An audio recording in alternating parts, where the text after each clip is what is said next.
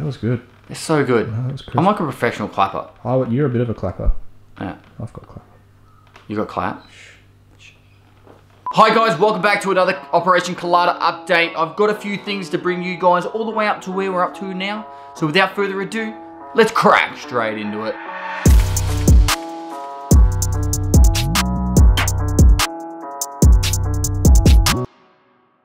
So I went and got the vehicle transferred into my name and in the process of doing that, the car actually got flagged with a couple of defects that I had to get fixed in order to have it roadworthy. I noticed that the, there was an aftermarket seat installed into it. The headlights weren't meeting ARD compliancy. And lastly, the wheels stuck out a little bit too far. So first up, the wheels, they stick out too far. We've got to get the old original wheels on. I actually have them right here with me, so that's gonna make it perfectly fine right there. Also with the headlights, they're currently uh, not ARD approved, not ARD compliant. So I need to put new 7 inch headlights in that are.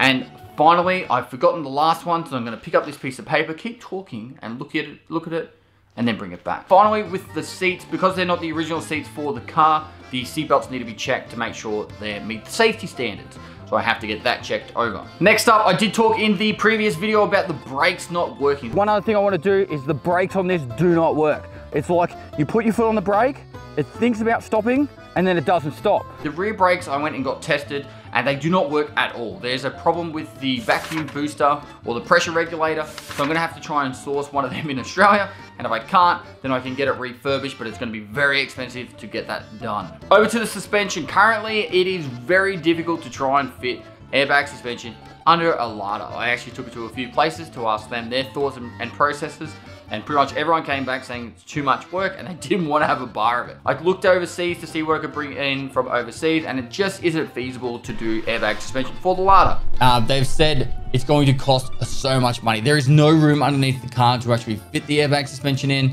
and there is one place I found in Russia that could ship it out. However, it's just not worth our time, which is very unfortunate. Instead, I'm going to use that money to invest into other parts of the, uh, the Killada operation project and then we'll hopefully have more fun with it that way. But unfortunately, the airbag suspension is going to get scrapped from this project. Now to the sound system. Previously, I said I was going to outsource a lot of things. The sound system was something I was considering. Instead, I'm doing that all myself. I'm going to make all the back of the car uh, customized however I feel like it.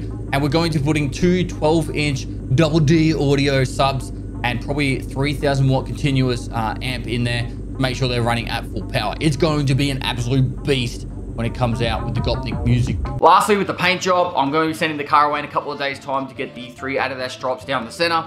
I'll get plenty of footage for that and you'll be able to see that in the next video. So, hopefully you guys have enjoyed this short little update. I'm going to be trying my best to give you guys as much footage and, and updates as we go along for this Operation Killada project. Um, but make sure if you haven't already, like and comment for the YouTube algorithm. Subscribe to keep it up to date for all this uh, funky stuff that we're getting up to on this channel. And lastly, I'll see you next time. Give me a cheeky look at the camera.